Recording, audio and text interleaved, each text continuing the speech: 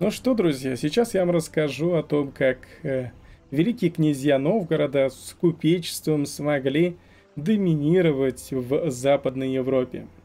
Как мы к этому пришли и благодаря чему. Конечно, будущее наше, за кого мы даже не играли, обеспечил Александр, э, великий князь. Вот, э, благодаря тому, что разбил тевтонцев и не дал покорить Новгород. И затем, благодаря этой победе и уже э, правлению великого князя Дмитрия Тирана, Новгород стал укрепляться, подбирая все независимые земли, которые были около него, и укрепляя торговлю и экономику. Как раз это и позволило нам потом властвовать. Мы закрепились и старались даже с монголами не воевать, но все было замечательно.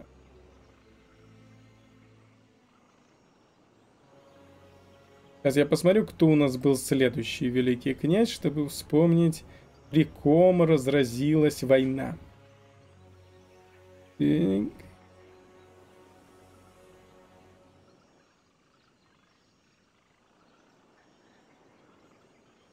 Если правильно помню, война разразилась еще при великом князе Дмитрии Тиране. Он, по сути, в основном и правил потом Новгородом, и не только укрепил торговлю, разразилась война с Тевтонским орденом.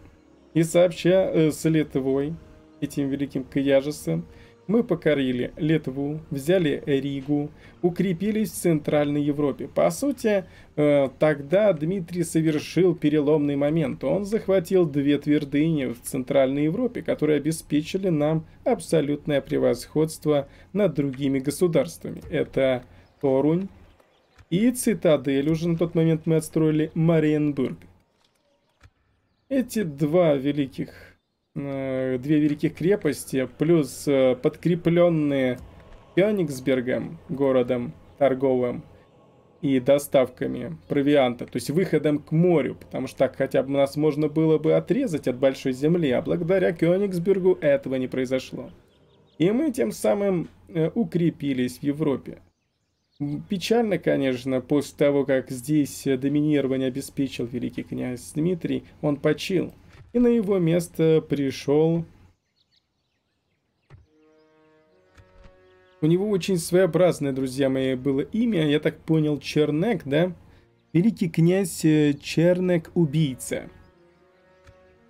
Удивительно, конечно, это слышать. В основном чернок-убийца обеспечивал мир а, между монголами и Литвой, нашими союзниками, которые тоже нас опасались из-за того, что мы становились все сильнее и богаче. Может быть, даже не опасались, а завидовали нашему благополучию. Поэтому наш великий князь Чернек обеспечивал безопасность Смоленска и Витебска. А также планировал э, в скором э, времени изгнать монголов э, с Великой Руси и вернуть Киев под лона, как говорится, православных князей новгородских. Но, конечно, итоги пожинал и обеспечил абсолютное доминирование и победу в Центральной Европе Великого княжества Новгородского наш нынешний князь. Мы его, конечно, сейчас поищем так, туда-сюда проходим. Я, наверное, легче его сам найду, потому что он сейчас находится в Дюнамбург и обеспечивает защиту основных дорог в направлении столицы Новгорода. Великий князь Борис, я так понимаю, тоже тиран. Любят, конечно, народ называть нас тиранами, возможно, потому что в какой-то степени мы правим эм, жесткой царской рукой, при этом все равно величаясь великими князьями, посадниками народа.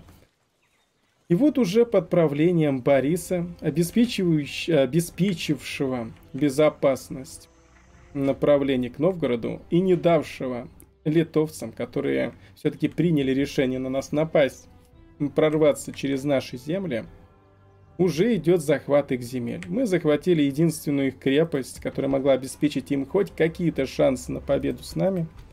Это Паланга. Теперь у них остались только города и печальная участь. Ну и также нам осталось дозахватывать территории.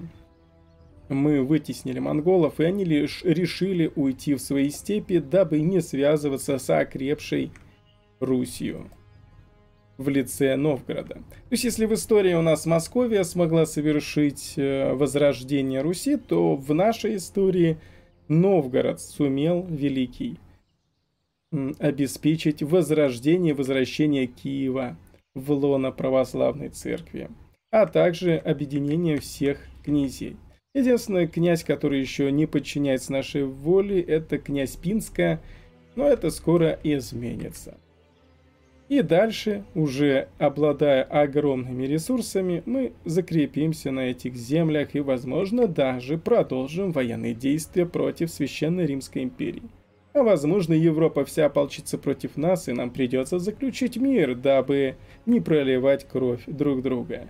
Но это уже другая история. В любом случае, в начале, чем и прежде чем идти на Священную Римскую империю, надо подчинить окончательно скандинавские независимые э, княжества, давайте так назовем. Э, Упсала и небольшой городок э, Скара. И после этого руки наши будут свободны для любых дальнейших свершений. Вот такая история за княжество новгородское приключилась с нами.